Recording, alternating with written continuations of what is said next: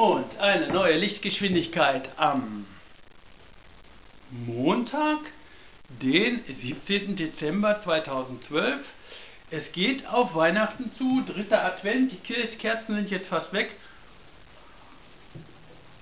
Deshalb schnell noch folgendes.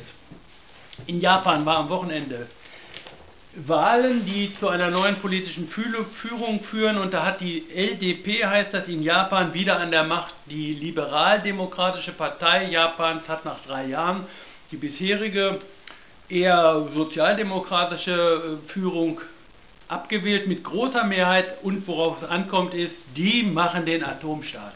Also, nach nur gut drei Jahren schreibt die Frankfurter Allgemeine Zeitung von heute, Rechtsrutsch macht Japanern Hoffnung. Rechtsrutsch macht Japanern Hoffnung, schreibt das Handelsblatt. Und ich habe auch die Taz heute. Und die Taz hat aber zu Japan nicht groß was, sondern die Taz hat gesagt, Privatsache Schutzwaffen.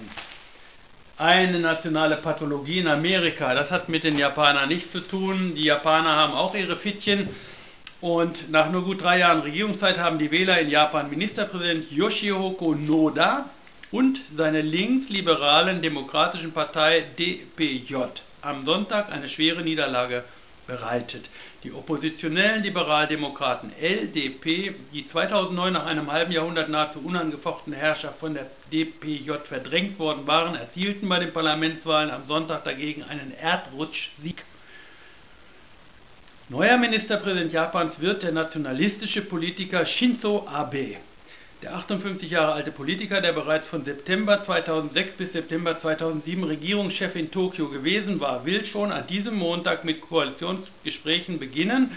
Letzte Hochrechnungen zeigen, dass Abes LDP und ihr Koalitionspartner, die religiöse neue Komeito-Partei, sogar eine Zweidrittelmehrheit im japanischen Unterhaus mit seinen 480 Abgeordneten erzielt haben. Noda, also der jetzt Chef wird, erklärte, dass er die Verantwortung für die schwere Niederlage seiner Partei übernehmen und zurücktreten werde. Der Präsident war, so, der jetzt verloren hat. Also er übernimmt die Verantwortung, ja, das kann er ja auch gut. Und die DPJ war 2009 mit dem Versprechen angetreten, Japan grundlegend zu reformieren. Viele Japaner nahmen es der Partei übel, dass sie die Hoffnung auf einen politischen Neuanfang nicht erfüllt haben. So, aber im Hintergrund steht ganz einfach die Wirtschaftsdaten, die japanische Wirtschaft hat unter dieser dreijährigen äh, gemäßigteren Regierung nicht so funktioniert, wie sich die Wirtschaft Japans das vorstellt. Man muss aber wissen, dass die Fukushima-Nummer dort ja wirklich ein erschütternder Eingriff war, in dem alles, was die glauben dort, nämlich dass ihre Leistung und ihre Tüchtigkeit und so weiter Grundlage des Erfolges sei, aber zum Beispiel, dass sowas wie Erdbeben, Tsunami und Atomkraftwerke eine Schwächung sind, sozusagen eine Erbkrankheit in Japan. Und das ist nicht das Problem der jetzt Abgewählten. Und damit haben dann auch die rechtsradikalen LDP in Japan zukünftig zu tun. Leider haben wir alle mit dem Atomdreck in Japan auch in Zukunft verstärkt zu tun und da kann man nur hoffen, dass wir immer dranbleiben an dem Thema.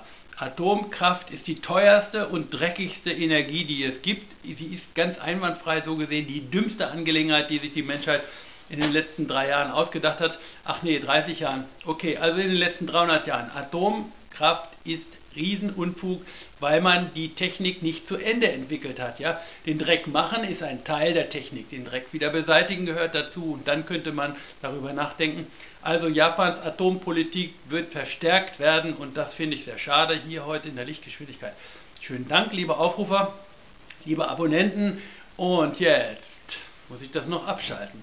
Und dann gucke ich immer auf das Video, wenn ich das bei mir am Computer raushole. Und beim Abschalten mache ich stets dasselbe, völlig blöde Gesicht. Das tut mir aber leid. Ja.